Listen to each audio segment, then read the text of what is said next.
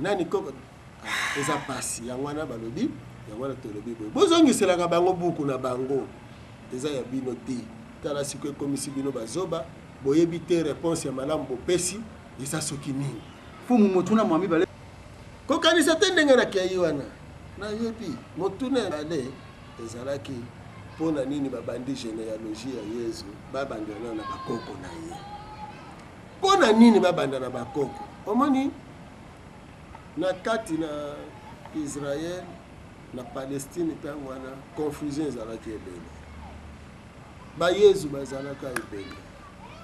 Or, Yezu oyo asengelaki kosala revolution, Yezu oyo asengelaki kolamusa lisusu royaume ya, ya David, royaume ya Israël, esengelaki awuta Selon selon prophetie, selon annonce, akowuta na famille royale ya Juda, famille royale oyo ba David bazalaki.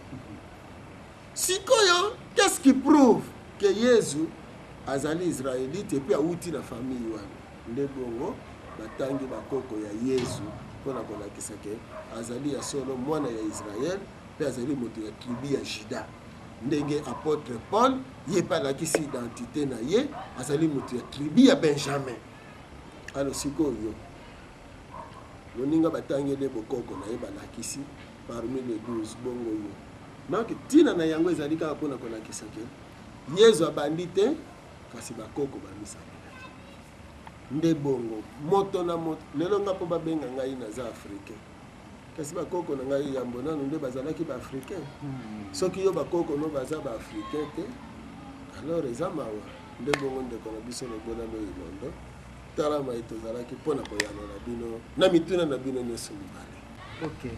nous savons que dieu n'écoute pas les pécheurs mais qu'il écoute tous ceux qu'il écoute tout dieu n'écoute pas les pécheurs mais qu'il écoute tout etre qui le respecte et obeis a sa volonte mfumu awa penza tozui bino penza po en tout cas ba ndeko mingi ba mitunaka papa oyo azali na ba reponse kaka nionso na monoko awa na Jean touti kotanga Jean chapitre 9 verset euh, verset 31 to reprendre yango nous savons que Dieu n'écoute pas les pécheurs mais qu'il ecoute tout etre qui le respecte et obeille à sa volonte donc elingi koloba ete bato baindo oyo bino bozali kokufela lelo bango bazali nde bapeshere parce que baza kosambela mingi pasi na pasi mindele kutu basambelaka te tala mboka na bango alors maintenant comment expliquer que bato mundele azosala biso mabe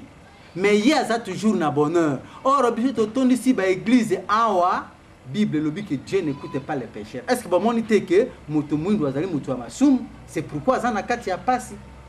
Matondo mingi ndeko na biso lobola lo ilondo croyant africain. Soki olobi moto moyindo mosumuki masumu nini azosala esengeli boyeba nzoka kuna balobi nini nzambe azoyoka oyo aza ko obeir ye omoni libombami nango oyo azotosa ye yango wana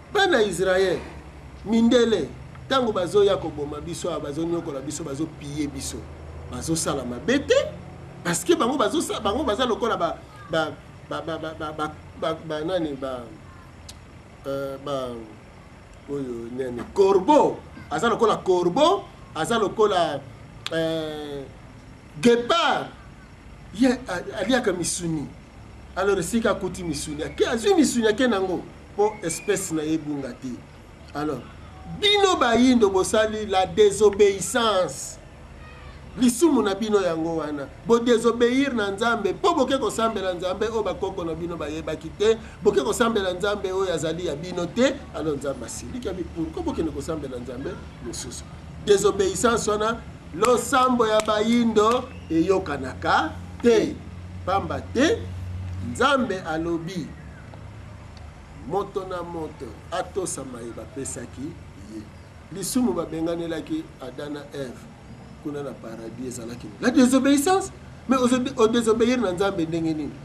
Parce que sikoyo mindele bazoya kopiye awa me nzambe na bango atinda bango bongo deuteronome chapitre pardon exode chapitre 3 verset 19 bokende ko 19 à 20 bopiye baafricain ba, ba yango baza koaplike ti lelo lisumu eza wapi omoni sikoyo bino balobi na bino bino mpe bobatela mabele na bino bobi te te te te te te te te te bazwa na bango ndenge balingi biso tokokende na lola ye nzambe nzambe ayebisaki bino ke bokende na likolo bino bokomata te nyonso ezali kaka nde ndenge wana tata na ngai lobola loyi londo désobéissance ya baafricain Nzambe azoyoka soki mabondeli na bango te, bazongela bonzambe ya bakoko na bango mpo ete mabondeli na bango mayokama malamu.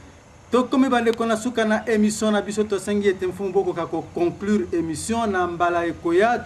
Tozoya na buku moko touti kozwa yango, le livre de Mormon.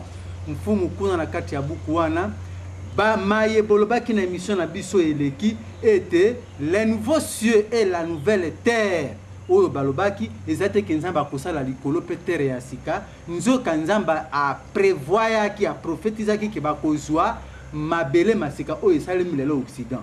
Eglise de Jesus Christ des Saints des Derniers Jours oyo omoni etongi ba ndako ya sika partout partout awa ba rond point ngaba wana e confirmer mfumu maye bino bolobaki na kamue mbala ekoya tokoloba, sikoyo balobi ke la nouvelle Jerusalem, etongami na etats unis alors mfumu bo conclure emission pe bolakisa biso bango balobi eglise de jesus christ de saint de dernier jour balobi na nouvelle jerusalem etongami na etats unis awa balobi ezali na nkamba nouvelle jerusalem bo repondre biso ezali wapi ezali wapi nouvelle jerusalem na etats unis to na nkamba awa bo repondre pe bo conclure emission uh, matondo mingi ndeko na ngai lobola loilondo croyant africain Nouvelle Jerusalem, nalobaki mokolo wana ezali Rome, pamba te ye moto abombi aile spirituelle ya maye wana.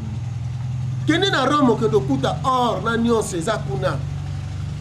Omoni, Etats-Unis nde azolakisa splendeur ya Jerusalem wana, don na aile physique nde Jerusalem na bango d'en haut ezali represente na Vatican.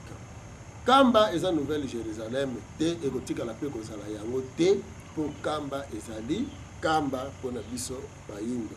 D'ailleurs, nzete ya kambala boyebi yango, ezali nzete ya makasi, bobengi yango nini, okume? Mm. Okay. Matondo mingi, nde bongo ndeko na ngai, esalaki yo mpasi mpo basimbi religion na yo kota na chambre senga na tata keli likolo na se alakisa yo Esalaki yo pasi po biso bayindo boyinga eleki tozali konyokwama? Telema, teya ndeko na yo, biso banso tozwa mikano po ete tozali ba nzambe, soki tolati responsabilite nde Afrika ekoki kobika. Matondo. Yo aka monge mpe mela nkaba na bilo kine bungeli boko te yeli mola mwanza mota kina nkamba lo kena mbe mwanza eli mbe nzale nkangeli we monka ilanga iboli ya ilunga mbibi mutombo mukulu mwate ya Misiri nkoko luej iyo wankana wanka mbuta machwa mfumu kibangu mfumu kibangu mfumu kibangu iyo wankana waka yaki mpa vita iyo wankana wanka nsuka bakoko nkusu kiambu nzala panda na ngola liyebo boyeba kososola ete lobiko lwa baindo lokoutaka bongo epai ya mfumu kibangu soki bolandi maye papa nkusu aye na yango nde bokozwa libiki lya biso ya solo solo boyeba kobelela bakoko O minoko mya mboka mya bino, ntango bozali kosambela, boyeba kosambela na lokota lwa bino lwa mboka, Lingala te, Français te, Anglais te, mpamba te Tata Mokeli akoya kopesa ba Français na esika alingaki apesa bino. Soki bosaleli maye Papa Nkusu aye na yango te, bokotikalaka bobele kolia, eh, eh, lisuki, lisuki lya ndendon esika mondele alie dendon, Bokoliaka obele mabumu esika mondele alie ngombe, bokolia makoso esika mondele alie ngulu, nde bokolatisa bana basi na bino ba sous-vetements oyo basi ya mindele babwaki. Ekozala libebi mpo na bino. Tosuki awa. Rediffusion na emission na biso lobi samedi na 7 heures. Bo, eh, ekozala bongo mercredi na 9 heures. Botikala malamu. Boboto mboka bino. Ciao.